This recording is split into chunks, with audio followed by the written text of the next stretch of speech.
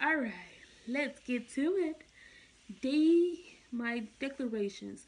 They're daily, but I'm not going to post daily about my declarations. I say them daily to myself, but I'm not going to post daily unless God tells me to, or unless it's something that I can't like keep to myself.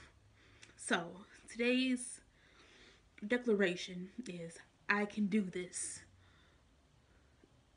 So say to yourself, I can do this. Declare you can do this. If you feeling frustrated about something, if you're feeling um angry about something, um if you're stressing about something, um just declare and decree that you can do it. And because my scripture is Psalms 4:13 which states which states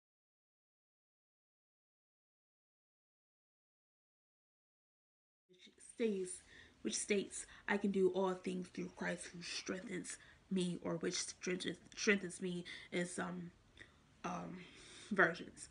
But you do all things through Christ that strengthens you. Even though we may go through this and that, even though we don't feel like doing this or that, even though we feel like giving up completely, sometimes on life completely, because you just, ah. So, we got this. So, and with it being a new year, this is a new year, right? So, you know how some people say new year, new me, new year, new me, whatever. Um, me personally, I've been working at this for seven long months. I started in June with affirmations, ended December 31st. Well, it's still continuance but you know what I'm saying. So I've been at a good self evaluation, self looking at myself, really digging in myself, what's going on with me, what's wrong with me. So I can say this is a new mindset for me, new determination, um, year of new connections, and as our my church's theme is this the year of strength. So new strength is going to come about. New strength is going to, you know, get that strength. Is that my move right there?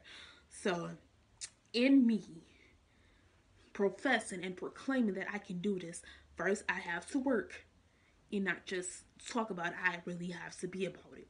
See, a lot of times, um, most of us have talk stuff, talk that talk, talk that talk, but never walk that talk.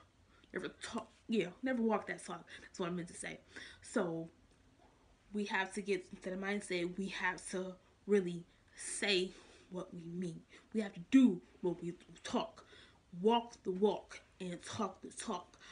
So we have to really come together, get our focus right on the Lord, and not let anything distract us. Like I've said this, I say this so many times. Focus on the God means get your word, pray, fast when God calls you to fast.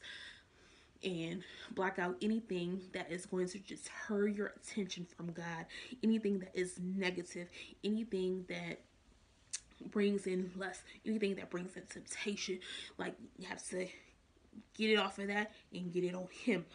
That's the only one who counts and you have to put your all into it. If you're for real about God, you have to put your all into it. You have to put your mind into it. You have to put your heart into it because this is the time that God is getting ready to bless us because with if you know get that this time he's going to bless us because he's looking for people who are really serious and for real about him and not and doing it with a pure motive and not doing it just to be seen who is really has a hunger and thirst after him that's what he's looking for so and so that's why i'm going to say i can do this i can do this i can follow god completely i can walk with God completely and not let anything get anyone deter my attention, deter my focus from doing Him completely.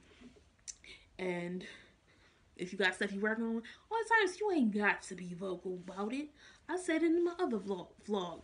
Build in silence. Everybody ain't got no what, so you don't have to be vocal about it. And yes, you always gotta consult the Lord. Always consult the Lord. Don't work in self. Don't always go to whoever you trust, whoever is a leader over you, whoever is your mentor. Don't you can go to them, but don't always go to them about things that you know God called you to do within your heart because sometimes they don't know what God is calling or is telling you to do.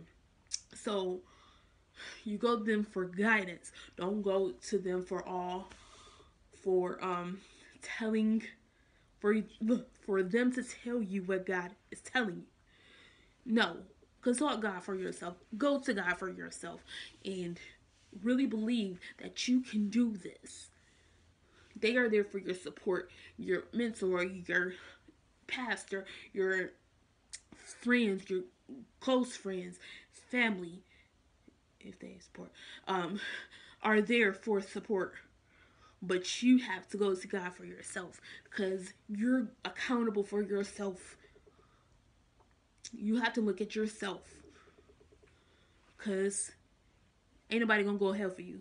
So you have, and you ain't gonna go hell for nobody because I ain't going to hell for nobody. So we have to really examine ourselves and just get at it. I can do this. I can do this. In this new year, I can go back to school, which I'm in the process of working on it to get a master's. In this new year, I can really share with these affirmations in composing a, a work of literature. um, this year, I can, people know what that means. Um, this year, I can, I can just do a lot of things. Um, this year, really step up. This year, really walk into the assignment begin to walk in assignment, begin to walk in my purpose for real, without fear, without being in my mind, without people trying to talk me out of it who really don't believe. Um, just walk in it. I can do this. So if I can do this, I have to walk in it with confidence, not just confidence with Godfidence because God got me and I got confidence in him and he has confidence oh he has confidence in us but he's waiting on us to have confidence in him so we can build the confidence in ourselves and really walk in what he has called us to do do what he has called us to be that's what he's calling for us. Whew. Jesus. But, yeah. Oh, so, I'm glad I did this. I'm glad I'm doing this. Um, whoever watches this, please hit that subscribe button, boo-boo. And subscribe and follow me. We gonna get videos every week. Two or three videos a week of vlogging because I just love to express myself. Woo! All right.